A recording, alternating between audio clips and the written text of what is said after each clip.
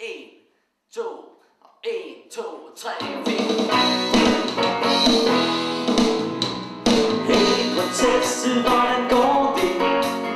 Nu hvor du har Altså, vi har skabt os et navn her i, i Esbjerg i hvert fald. Øhm, så nu skal vi så ud over den esbjergensiske grænse, og så er det jo så første gang turen går til Aarhus i aften, som jo er en rigtig musikby.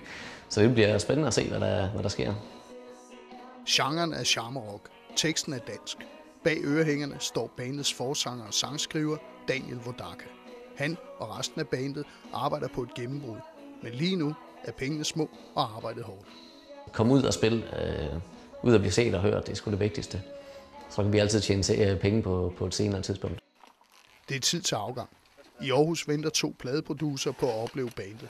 Koncerten starter om to timer, men bandet befinder sig stadig i Esbjerg.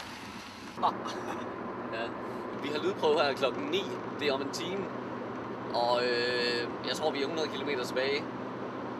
Så øh, det bliver knebent.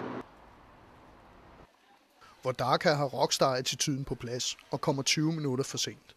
Men med en hurtig opsætning går det hele. Der er lige tid til at hilse på producerne, som skal høre bandet spille live for første gang. Jamen, jeg vil gerne øh, spille lidt mere frit, end jeg har hørt øh, med det materiale, jeg har fået tilsendt. Det, jeg tror, det kan lykkes, fordi Daniel, han, øh, han, øh, han skriver noget musik, som, øh, som jeg er helt sikker på, der er plads til, hvis det bliver lavet på den rigtige måde. Her kommer nummeret øh, Hey Prinsesse. Som er vores bud på et P3-nummer, tror jeg.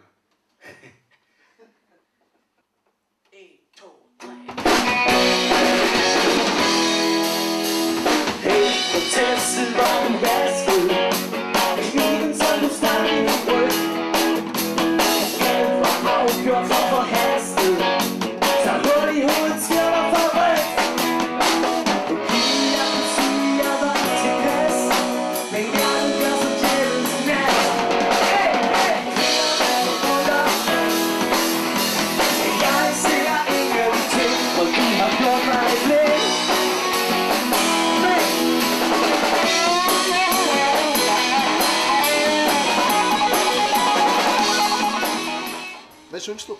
Jamen, øh, vi var meget positivt overrasket. Det var. Vi er jo glade for at se det. Dejlig, god energi. Ja, øhm, det vil jeg også sige det. masser at bygge på. Så. Producerne er gået, koncerten er forbi. På scenen var der gode takter, gnist og gejst, selvom de tomme sæder blandt publikum var nemme at få øje på. Jeg vurderer sgu ikke succes ud efter, sådan, hvor mange folk der er, men øh, og om vi formår at skabe en stemning og sådan noget, og det, det synes jeg helt klart, vi har gjort. Jeg tror, halvdelen herude, det er Krens familie.